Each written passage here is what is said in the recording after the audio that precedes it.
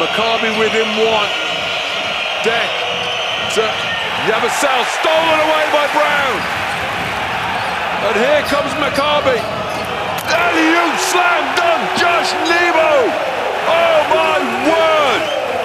Can you believe what you are seeing?